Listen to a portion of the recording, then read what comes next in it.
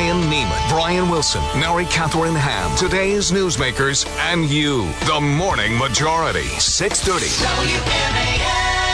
It is 8:37 on the morning majority. Brian Wilson, Bryan Nehman, Mary Katharine Ham, and we are pleased to be joined by a man with one of the biggest brains in politics, a man who knows more about the American political system than any human being on the planet.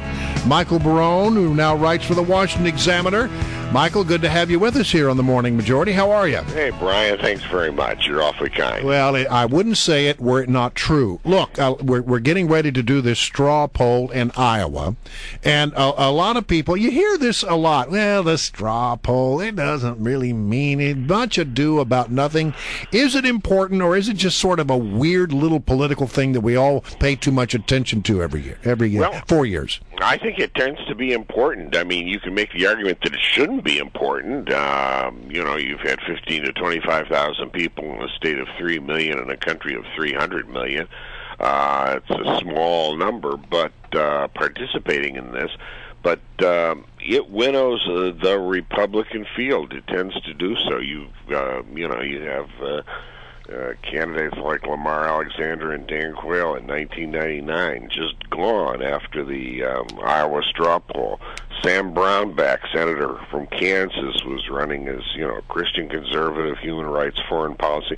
He was gone after the straw poll in 2007 and Mike Huckabee, who was only 3% ahead of him, uh, went on to win the Iowa caucuses and to be one of the major competitors of John McCain. So, yeah, it does make a difference, uh, whether it should or not.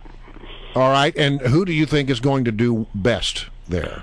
Uh, well, I think that, uh, you know, they, in a sense, we've already discounted this, but I think Michele Bachmann, uh, who you know, four months ago uh, was not considered a serious candidate for president by just about anybody in the politics business. Um, I was just out at her headquarters uh, yesterday evening, and um, it's popping up there. Two months ago, she didn't have a headquarters running, right. uh, but she's uh, clearly doing well here in Iowa. Exactly how well, we'll see. Uh, but she's made herself a serious candidate in the run up to this uh, straw poll. Now, Iowa was where Tim Pawlenty was going to, by conventionalism, going to have to do well, and demographically had potential to do well as a Midwesterner and perhaps appealing to some evangelical voters. Yep. Anything you can peg to, for the reason he hasn't caught fire in any way? Might he surprise people at the straw poll? Well, he might surprise people in the straw poll. His campaign seems to be. Uh, uh, pretty, you might almost say desperately, trying to concentrate on people who in counties not too far from Ames. And in fact, late, late night in Iowa, there, Michael. Right. That, and in fact, that may yeah, late night, and that may make a difference because he's. Uh, um, you know, if you look at the the, the 2007 um, or 2008 straw poll, um, not straw poll, but the uh, Iowa caucuses, you you find that it's one third of the people are from uh, the eight counties, including and surrounding Des Moines. Uh, so there is a concentration there, but. Uh, yeah, Tim Pawlenty's trying, but he could easily be the one that's eliminated here unless he does better than just about anybody has been thinking he's doing over the last uh, several weeks. Uh, I think his candidacy, um, you know, is could, fail. You could call it a sleepy candidacy at this point or something like that. So what? How, how do you uh, how do you see Rick Perry getting in the race and how it affects Michele Bachmann and Mitt Romney?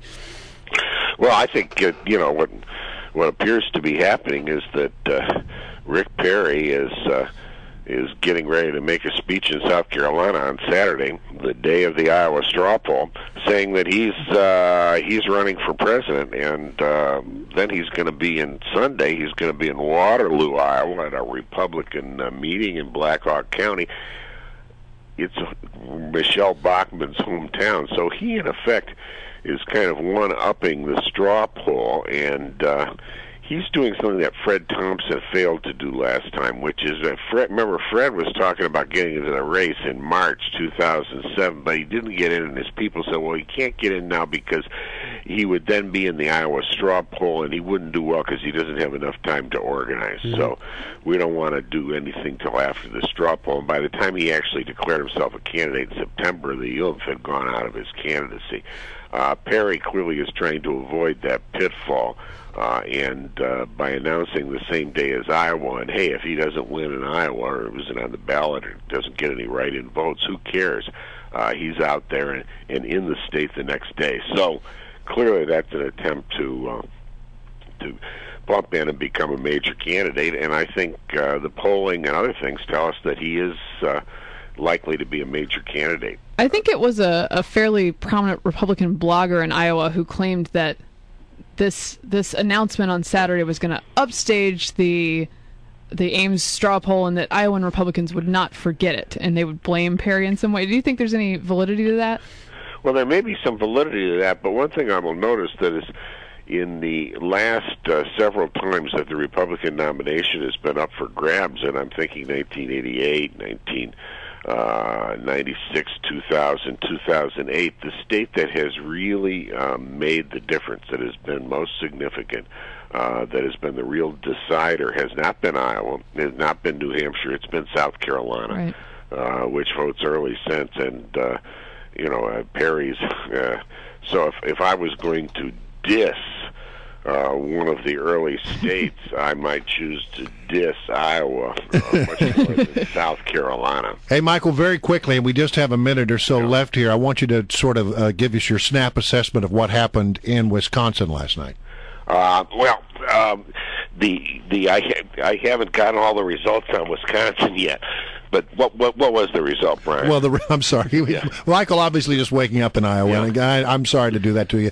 Uh, basically, the the Republicans were able to maintain their majority. The Democrats gained two of the five seats. Yeah, that's the returns that I saw, and. Uh, basically, it seems like um, you know Scott Walker, the Republicans in, uh, in in Wisconsin have had again another narrow escape. They got it on the Supreme Court election that they had uh, last spring, and um, the idea that this was going to totally revive the Democratic Party uh, and make it then a fighting force doesn't seem to be the case. It seems to me we're still more in 2010 than we are in 2008 in terms of a political year. Hmm. All right. Thank you, Michael. As always, appreciate your time. Thank you. Thanks, Michael. Michael Barone, Washington Examiner, here with the Morning